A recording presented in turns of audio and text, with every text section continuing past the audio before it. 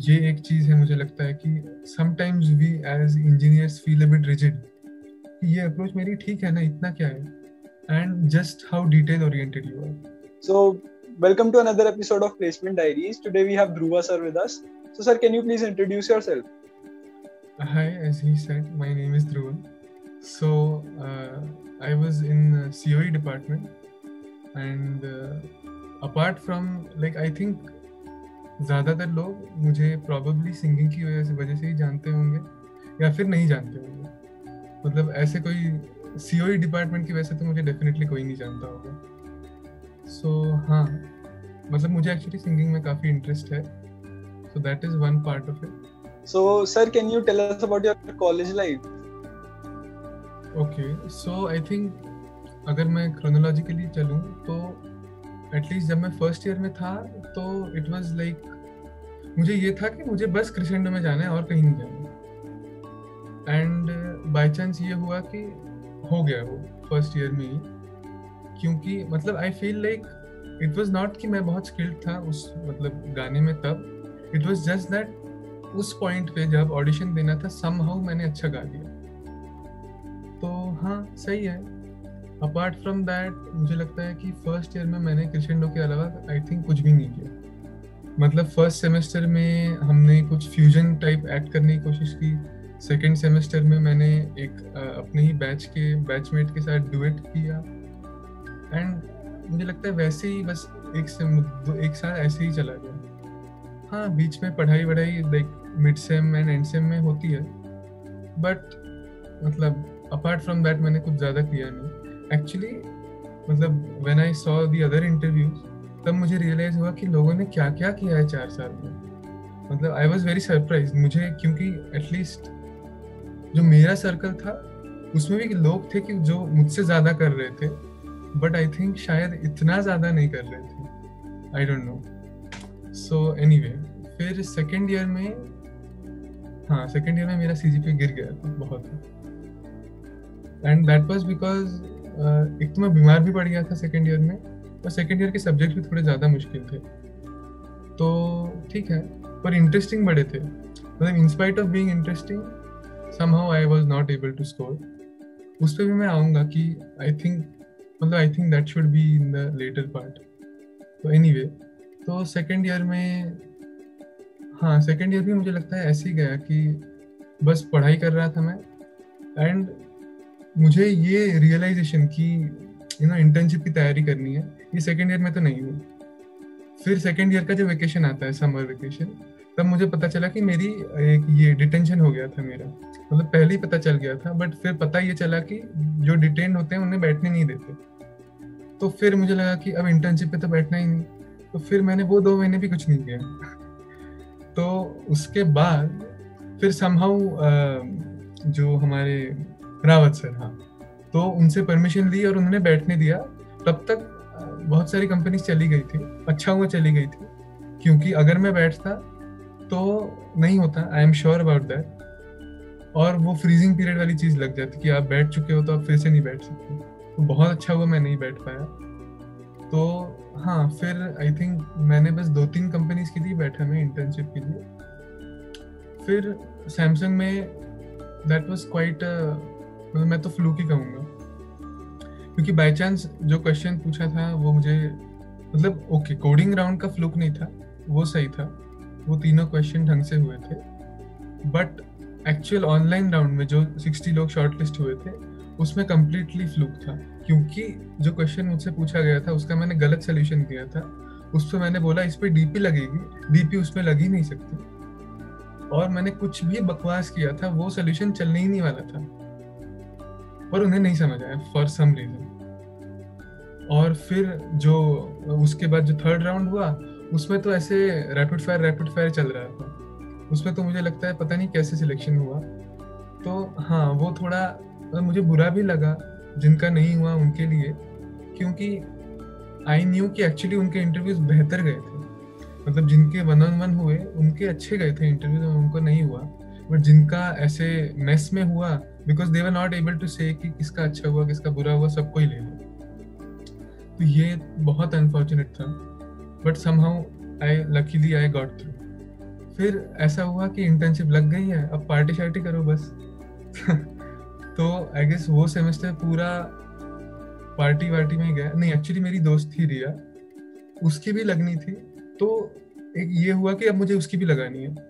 तो उसके साथ थोड़ी प्रिपरेशन वगैरह में ये हुआ, वो सेमेस्टर फिर जब उसकी भी लग गई, फिर तो अब बस पार्टी पार्टी ऐसे हो गया था। फिर अगले सेमेस्टर मुझे थोड़ा ये हुआ कि यार, ये क्या टाइम पास है? थोड़ा तो मुझे मतलब इतने, सब everyone is trying so hard for it अब हालाँकि मेरा हो गया but you have to understand कि I will not always get lucky ना। तो कुछ तो मेहनत कर, ऐसे मुझे फील हुआ। और सेम चीज़ बाय चांस रिया को भी फील हुई तो हमने फिर से साथ में लग के ये किया। और फिर हाँ फिर that was the time when I actually applied for off campus और फिर वो हुआ माइक्रोसॉफ्ट का। फिर उसका तब इंट्यूट में हुआ same I think in that same period of time ही हुआ। सम आई थिंक उसका पहले हुआ शायद। हाँ उसका शायद मेरे पहले हुआ। हाँ तो फिर वो सेमेस्टर खत्म हो गया इंटर्नशिप में। उसके बाद समर में इंटर्नशिप हुई। That was quite nice and उसके बाद फोर्थ ईयर में तो क्योंकि पीपीएल हो चुका था आई थिंक फोर्थ ईयर में ना बस बकचोदी हुई है कुछ हुआ ही नहीं है। मुझे लग रहा है तीन ईयर तीन साल की ही थी। उसके बाद तो बस खत्म ही हो गई थी इंजीनियरिंग ऑफ़ कैंपस के लिए कैसे प्रिपेयर किया एंड ऑफ़ कैंपस कैसे अप्लाई किया माइक्रोसॉफ्ट में? ऑफ़ कैंपस क्या प्रोसीजर था फॉर इंटरव्यूज़ एंड ऑल हाँ तो वो भी मतलब वो भी इतना फैसिनेटिंग था कि लाइक थर्ड ईयर का जो दिसंबर आया, उसमें मेरे कजिन की एक शादी थी। तो उस शादी में मेरे सारे दोस्त आए हुए थे और एक दिन ऐसे ही कुछ तो हुआ कि मतलब दमक एक दोस्त है तो वो कुछ कुछ तो बात मुझे एग्जैक्टली याद नहीं बट ऐसे कुछ हुआ था कि ऑफ़ कैंपस का कुछ आया है माइक्रोसॉफ्ट का, कोई सीनियर थी, उन्होंने बताया था और हमने कर दिया अप्लाई बस। फिर उसके बाद समहाउ आई थिंक माइक्रोसॉफ्ट का ये क्राइटेरिया कि once you apply whether you are eligible to give the test काफ़ी स्ट्रेट फॉरवर्ड है। दे से कि आप बैठो ही टेस्ट के लिए। तो उन्होंने बोला कि बैठ। जाओ तब फिर ये हुआ कि थोड़ी प्रिपरेशन शुरू करनी है। एंड आई थिंक उस शॉर्ट पीरियड में मैंने काफ़ी प्रिपेयर किया। और कैसे किया तो आई थिंक सब मुझे कॉम्पिटिटिव में ज़्यादा इंटरेस्ट नहीं था।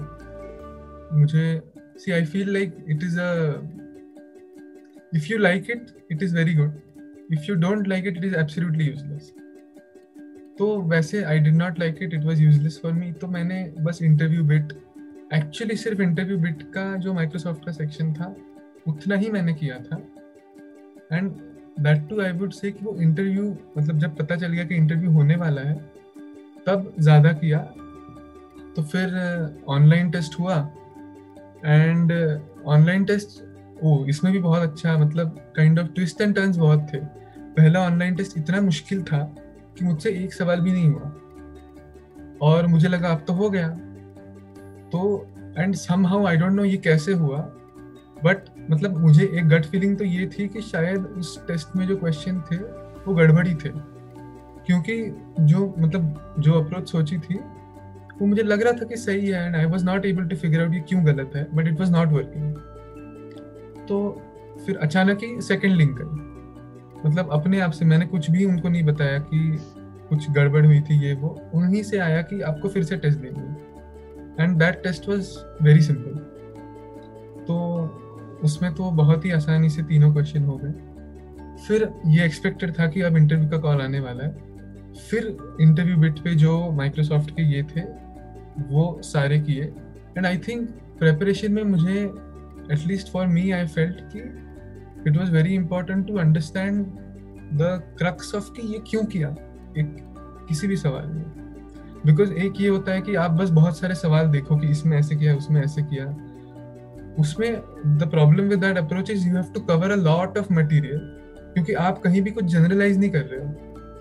जैसे फॉर एग्ज़ाम्पल अगर किसी क्वेश्चन में ग्रीडी अप्रोच लग रही है तो ग्रीडी अप्रोच का ये मतलब होता है कि you are assuming not assuming you are sure कि ये पाथ फॉलो करने से मुझे ऑप्टिमम सोल्यूशन मिलने वाला है। सो so, आप कहीं ना कहीं ये तो सोचोगे ना कि क्यों?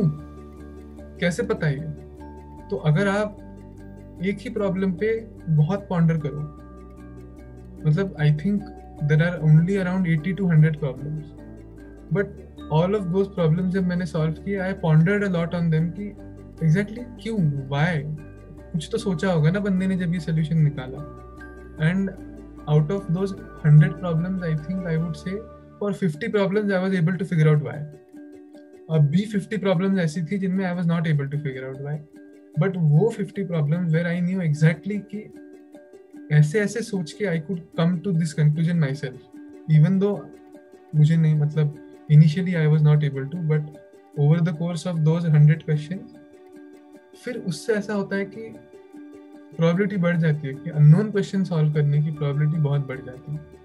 क्योंकि आप एक तरह से ये सोच रहे हो कि how to approach a question instead of just trying to solve as many question as possible that is an okay approach but I this is I think ये आसान है करना। मुझे नहीं पता ये सबके लिए आसान होता है कि नहीं। मुझे ये बहुत ज़्यादा आसान लगा। इसमें बहुत कम मेहनत लगी मुझे। तो हाँ ये मुझे लगता है इंटर्नशिप के पीरियड में ये हुआ। उसके बाद पीपीओ में जब हम गए तो दैट वाज वन पीरियड जब बहुत ही ज़्यादा मेहनत हुई। मतलब लिटरली दो टू मंथ्स सातों दिन मैं ऑफ़िस जाता था। एक भी दिन छुट्टी नहीं ली। और सातों दिन मैं बारह चौदह घंटे ऑफ़िस में रहता ही था। मतलब दिन को आठ बजे जाना, क्योंकि बस आती थी, और रात को दस बजे आना, लगभग, यही होता था। So I feel that was one period of time where मैं बहुत ही ज़्यादा काम कर रहा था। हालाँकि इतने काम करने की ज़रूरत नहीं थी। मतलब वेन आई लुक बैक नहीं थी शायद ज़रूरत बट ठीक है। मैं मतलब माई रैशनल वॉज़ की आज मैंने एक भी छुट्टी ली, फिर पीपीओ नहीं मिला तो मैं यही सोचूँगा कि उस दिन छुट्टी क्यों ली? कर लेता काम थोड़ा और। So because that you know two month period is like वहाँ दे दो आपको जितना देना है। मतलब ऑनेस्टली मुझे नहीं लगता मैं इतना काम कभी करने वाला हूँ इसके बाद जॉब में तो। It is just not possible और ये इनफैक्ट इवन मेरे जो मैनेजर और मेंटोर थे माइक्रोसॉफ्ट में उन्होंने भी ये बोला था कि तूने अभी दो महीने में ये किया but this is not a sustainable thing ये तुम कर ही नहीं सकते। सो so, हाँ। And I feel at least मैंने क्योंकि डेवलपमेंट वगैरह कुछ किया ही नहीं था ज़्यादा। सो so, मैं वहाँ गया उन्होंने कहा कि आपको एंड्रॉयड ऐप पे काम करना है। मुझे एंड्रॉयड ऐप का पता नहीं था एंड्रॉयड स्टूडियो कैसे चलाना है कुछ नहीं पता था। बट somehow I felt कि in most good companies they value कि how quickly you are able to learn much more than कि आपको पहले से कितना आता था। क्योंकि हमेशा यही होगा कि आपको कुछ ऐसा पकड़ा दिया जाएगा जो आपको नहीं आता। तो it is not important to know a lot as important मतलब it is more important to be able to grasp things more quickly तो ये मुझे इंटर्नशिप का ये लगा।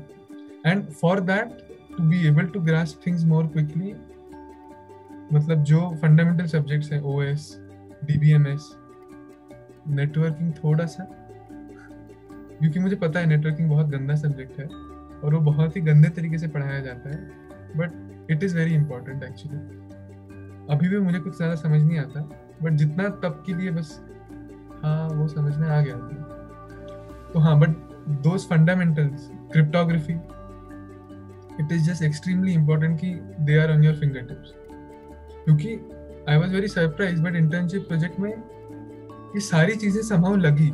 मतलब मुझे एक्सपेक्टेड नहीं था कि मैं ये सोच रहा हूँ कि शायद ये थ्रेड इसलिए ब्लॉक हुई है क्योंकि उस थ्रेड में वो किया था मैंने। तो वही जो हमने वहाँ कॉन्करेंसी में पढ़ा था कि कैसे डेडलॉक्स क्रिएट होते हैं, कैसे वो इस रिसोर्स को एक्सेस कर रहा है मतलब इतना लो लेवल इतनी लो लेवल चीज़ें मुझे सोचनी पड़ेंगी। I did not anticipate that but हाँ ये सब हुआ था। क्रिप्टोग्राफी में कि कैसे की एक्सचेंज होगा, आपको सोचना है कि ए एस लगाऊँ या फिर मैं मतलब एसिमेट्रिक होगा या सिमेट्रिक होगा? सो so, पहले एसिमेट्रिक फिर सिमेट्रिक मतलब फॉर की एक्सचेंज पहले एसिमेट्रिक फिर सिमेट्रिक मतलब all of that I feel would have been very difficult अगर मुझे पता ही नहीं व्हाट इज़ एसिमेट्रिक सिमेट्रिक बस एग्ज़ाम के लिए पढ़ के हो गया ऐसे। So I feel that is very important so so, आपका इंटर्नशिप एक्सपीरियंस तो आप मतलब काफ़ी हेक्टिक था बट आपने कौन से प्रोजेक्ट पे काम किया था एग्जैक्टली exactly, कौन सी टीम में? सो एसएमएस ऑर्गेनाइजर करके माइक्रोसॉफ्ट की ऐप है। बहुत सिंपल काम करती है वो। आपके एसएमएस आते हैं, कुछ एमएल का मॉडल चलाती है वो on the phone itself that was actually the challenge तो वो उसको ऑर्गेनाइज करती है कि ये ट्रांजैक्शनल मैसेज है, ये प्रमोशनल है, इसमें ऑफ़र है, ये पर्सनल है। फिर आपका अकाउंट का बैलेंस आपको बताती है डिपेंडिंग ऑन आपको जो एसएमएस आ रहे हैं। तो ऐसी थोड़ी थोड़ी अपेरेंटली कूल चीज़ें करते हैं वो। Which is actually not very cool वो बस मतलब एस ही तो पढ़ रहे हैं। मुझे बिल्कुल कूल नहीं लगा था बट उनको बहुत ही ऐसा लगा था कि क्या कर दिया हमने। Anyway that is okay उसमें मुझे इंटरनेट मैसेजिंग की फैसिलिटी डालनी थी। सो so, वो हो गई थी बट वो मतलब एंड में मुझे याद है कि मैंने बोला था कि जो फाइनल ब्रांच है ना सर उसमें कोड कुछ गलत है वो कोड आपको मतलब मैंने बस ब्रांच बता दी थी कि इस ब्रांच में जो कोड है वो चल रहा है। एंड वो डिप्लॉय नहीं हुआ। उसका कुछ नहीं हुआ, वो बस है अब। It is just a branch तो हाँ वो काम था। अब मुझे एक्चुअली द थिंग इज़ अब जैसे मैंने ये बताया कि इंटरनेट मैसेजिंग डालनी थी, अब सुन के मुझे भी ऐसा लगा था कि वाह, ये तो चौदह दिन में हो जाएगा। बहुत ही मस्त काम मिला है। But it became so complicated कि वो दो महीने में भी नहीं हुआ। सो that is the thing, I feel कि the learning part is कि हम जैसे कॉलेज में प्रोजेक्ट्स करते हैं, the scale is very large and therefore how efficient you have to be is also very different. मतलब हमने कुछ एंड्रॉयड में कुछ अलार्म्स वाली सिस्टम होती है which is like after a particular time you can कि एक प्रोसीजर कॉल हो ऐसे तो मैंने पहले सोचा, ठीक है तो हर मैसेज के लिए एक अलार्म लगा दो। बट वैसे नहीं कर सकते। तो in the end it got boil down to फिर हर एक यूज़र के लिए एक ये कर दो। वो भी नहीं। तो in the end it became कि एक ही अलार्म होगा। So that is how optimum you have to be मतलब अगर उसे वैसे देखा जाए तो ओ एन से मतलब वैसे ही कुछ है ना वो? कि पहली अप्रोच में मैंने सोचा कि ठीक है, हर मैसेज के लिए कर दो, फिर हर यूज़र के लिए कर दो, फिर एक ही होगा ऐसे। So that is how I feel कि हर चीज़ में वो ऑप्टिमाइजेशन करनी है एंड ऑफ़ कोर्स वो गाइड तो करती है। तो फिर पीपीओ किस बेसिस पे देते हैं? लाइक कंपनीज़ कि आपने कितना अच्छा काम किया है या फिर आपका प्रोजेक्ट क्योंकि मोस्ट कई लोगों का प्रोजेक्ट कंप्लीट नहीं होता। आपका भी कंप्लीट नहीं हुआ था ना डिप्लॉय हुआ। But you got PPO yes so PPO I think they evaluate your work ethic I feel कि आपको कुछ काम दिया है और आपको मतलब से you present an approach and उन्होंने बताया कि ये अप्रोच में ये गड़बड़ है। So do you just illogically defend it कि आप ओके okay, मान लेते हो कि okay I will work on it ये एक चीज़ है मुझे लगता है कि sometimes we as engineers feel a bit rigid ये अप्रोच मेरी ठीक है ना इतना क्या है? And we also feel a bit lazy कि यार इतना मैंने मेहनत करके लिखा है आप कह रहे हो फिर से चेंज करो। So that is not a good thing I feel वो देखते हैं वो। And just how detail oriented you are कि मतलब क्या आप सोच पा रहे हो कि एक अलार्म एक यूज़र के लिए एक अलार्म मतलब ये कितना ऑप्टिमाइज आप कर पा रहे हो? कितनी how passionate you are towards trying to optimise it कि just you do you just give up and मुझे, जो सबसे इम्पोर्टेंट ये लगा कि जो उन्होंने मुझे पॉइंट आउट किया कि समटाइम जब हमें समझ नहीं आ रही होती है चीज़, हम जस्ट रैंडमली जाके पूछ लेते हैं कि ये कैसे करें? But that is not the way because you should try to figure it out yourself मतलब कुछ तो आपको होगा कि गूगल कर लो या फिर ब्रेक पॉइंट पे कुछ लगा के समथिंग गिव देम समथिंग कि मैंने यहाँ तक ट्राई किया है। This is not working therefore I am coming to you so that they feel कि ओके okay, कुछ तो किया है ना। ऐसे नहीं कि मेरा काम आप कर दो ये नहीं होना चाहिए। So all of this i think primarily boils down to work ethic. And i think so i feel like wahi hai ki because how good a fit you are for the company. हाँ मतलब it is not कि आपने deliver कर पाए कि नहीं क्योंकि even अभी जैसे अभी हमारी क्वार्टर की प्लानिंग वगैरह होती है मैं यही देख रहा था कि प्रीवियस क्वार्टर में ऐसे नहीं हुआ कि सबका काम हो गया है। They are carrying it forward to the next quarter but is it just because उन्हें काम ही नहीं करना था? मतलब देर आर वैलिड रीजन कि वो क्यों हुआ। दैट इज़ इम्पोर्टेंट कि ऐसे ही basically I think work ethic is the most important thing that they see क्योंकि मतलब क्योंकि स्किल जनरली सब में होती है। आपको इंटर्नशिप मिली है तो आप में स्किल है। तो फिर क्यों क्या देखेंगे? वो वर्क एथिक देखेंगे। So that is what so अभी आप कौन सी टीम में काम कर रहे हो एंड आपका काम क्या है? सो currently i am in calendar answers which is basically the मुझे कह सकते हैं कि जो कोर्टाना है इनका असिस्टेंट माइक्रोसॉफ्ट का। So that particular assistant has like बहुत सारी जो उन्होंने उसमें फीचर्स डाली हैं उसमें से एक फीचर ये है कि वो इवेंट्स आपके बताता है आपको कि when is my next meeting अलग अलग टाइप के आप क्वेरीज कर सकते हैं। सो so, वो क्वेरीज का logic is supported by our team so अलग अलग एंड पॉइंट्स जो हैं वेदर इट इज़ टीम्स हैं या फिर आउटलुक है या फिर कोर्टाना जो डेस्कटॉप में होता है all of these end points somehow end up calling those APIs and that is how मतलब तो हाँ बेसिकली काम वेब डेवलपमेंट का ही है which is a bit sad I थोड़ा था कि काश, क्योंकि एक्चुअली जिस डिवीज़न में मैं हूँ, उसका नाम है सर्च टेक्नोलॉजी सेंटर इंडिया तो सर्च मतलब ए आई आया ना उसमें पूरा।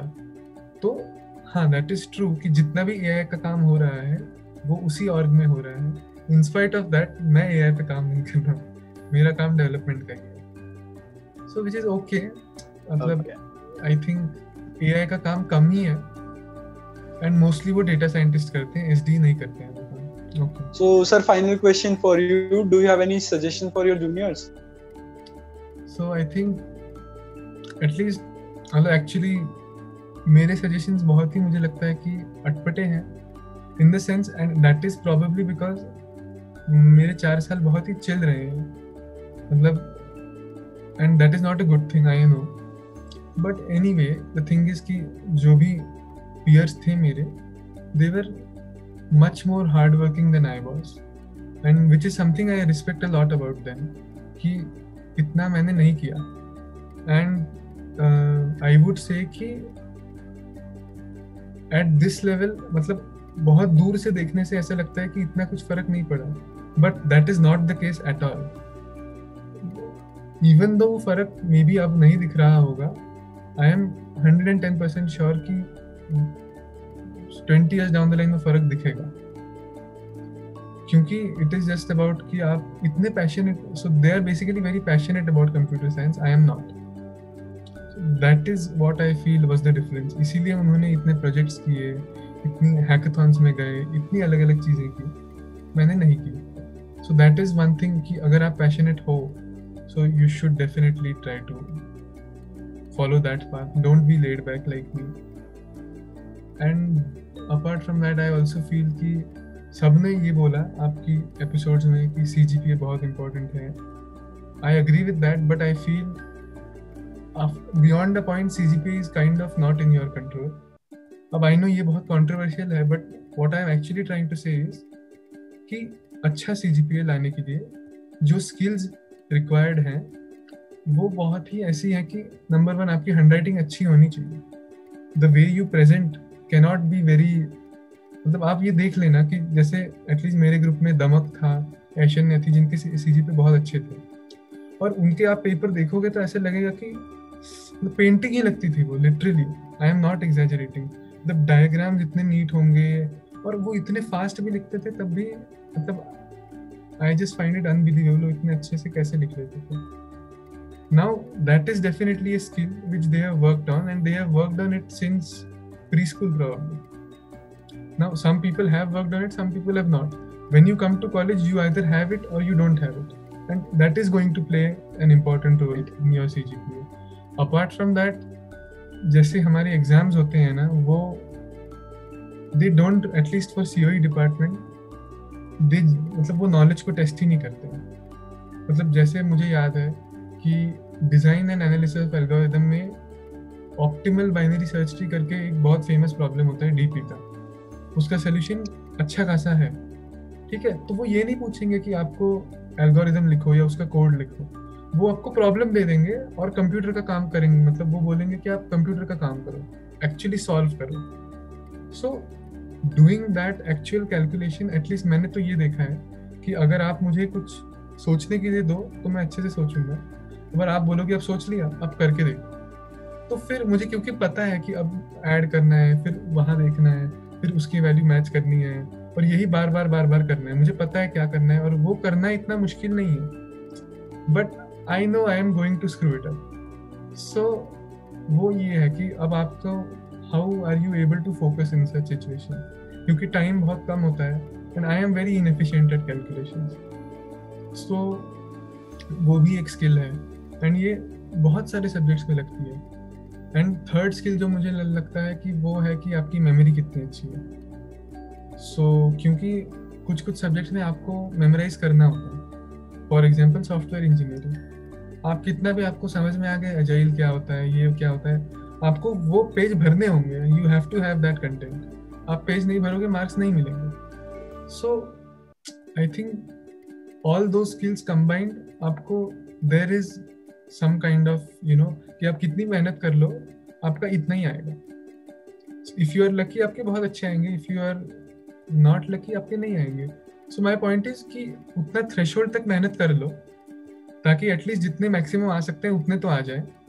बट फिर इतना लोड मत लो कि यार, उनके नाइन आ रहे हैं, साढ़े नौ आ रहे हैं, ये वो। जिस एक्सेप्ट की ठीक है। दो skills in the end are not so important and even without C G P A जैसे एटलीस्ट इन माई ग्रुप मैंने देखा कि जिनके सी जी पी ए बहुत अच्छे थे, वो भी वेरी वेल प्लेस्ड जिनके इतने अच्छे नहीं थे, उनका थोड़ा उन्हें स्ट्रगल ज़्यादा करना पड़ा। बट हो गया। So don't stress about it कि यार सी जी पी बहुत ही चाहिए मुझे। एंड लास्टली मुझे लगता है कि I feel everyone just wants to compete मतलब एटलीस्ट मैंने हमारे बैच में ये काफ़ी सुना और देखा. And it is very sad because जो फ़र्स्ट ईयर में बहुत अच्छे दोस्त थे सम हाउ इंटर्नशिप की पीरियड के टाइम वो दोस्तियाँ वो, वो दोस्ती अच्छी नहीं रही. मतलब फ्रॉम इंटर्नशिप वो शुरू हुआ and I feel like fourth year में ठीक है वो फिर से you know they get patched up जब सब सेटल हो जाते हैं। But in that period I feel कि ऐसा नहीं होना चाहिए कि आप मतलब माई पॉइंट इज़ कि you are going to be competing with the entire college अगर आप ऑफ़ कैंपस अप्लाई करोगे तो you are going to be competing with people beyond your college so आपको ये सोचना है कि is it better to compete जब मैं अकेला हूँ या मेरी एक टीम है? Naturally with the team you will be better off ना। तो एटलीस्ट अपनी टीम में कम्पीट मत करो। And of course that is a mutual thing ये एटलीस्ट मैं ये तो मतलब जो मेरे क्लोज फ्रेंड्स थे कॉलेज में, ना मैंने कभी उनके साथ कम्पीट किया, ना उन्होंने मेरे साथ कभी कम्पीट किया। वी वर ऑलवेज मतलब कभी किसी को कुछ पढ़ाना है एग्ज़ाम हो, कुछ भी हो, अगर हेल्प चाहिए तो मिलेगी ही no matter what it is तो I feel that is a very intangible thing which helps you and it is just too important और मुझे लगता है कि जितने भी मेरे दोस्त हैं, वो सारे ही they are doing very well right now and and every आप किसी से भी पूछो, हर बंदा ये कहेगा कि हाँ कि क्योंकि ये दोस्त वाला ग्रुप था everyone was supportive it help and हर बंदा ये कहेगा कि अगर ये नहीं होता तो शायद ये नहीं होता. So that is the thing अब हाँ ये उसमें से लगता है कि फिर मैंने अपने बलबूते पे क्या किया? तो इन दी एंड आप अपने बलबूते पे ही कर रहे होते हो बट वो support is important I feel and one should not compete with our friends at least and lastly मुझे लगता है कि सोसाइटीज uh, भी लाइक like, मैंने सिर्फ़ क्रिशेंडो ज्वाइन की थी सो इन दैट मतलब जो मुझे क्रिशेंडो से फ़ायदा ये हुआ दैट वाज कि मेरे बहुत दोस्त बने और I would not I will not say कि बहुत दोस्त बने बट जो दोस्त बने वो बहुत अच्छे बने। Because you have that something in common and then मतलब जैसे मेरी दोस्त है Disha. Initially the only thing we had in common was music अब पता चला कि she is also interested in physics and I am also interested in physics तो सम हाउ और कॉमन इंटरेस्ट भी आते हैं। And again it relates back to my previous point कि आपका वो सर्कल मिलता है। And again it is up to you कि आप उस सर्कल में भी कम्पीट करते हो या नहीं करते हो। माई सजेशन इज़ मत करो। It will not help you so हाँ। वही मुझे लगता है कि सारे ही मतलब I feel crescendo is I feel sorry societies का basic point is to make friends side benefit ये है कि थोड़ा आपको रिकग्निशन मिलता है, ये वो। But that is not the important part I think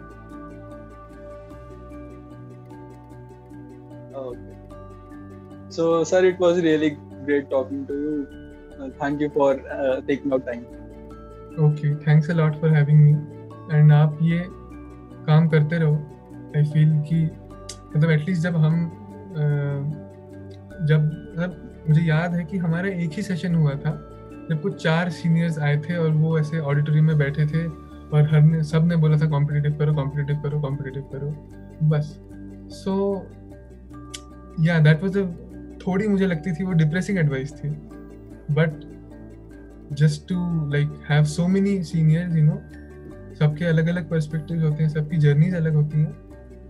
I feel like जब वीडियोस ये देखे जाएँगी तो it would be hopefully juniors को हेल्प होगी उस चीज़ से।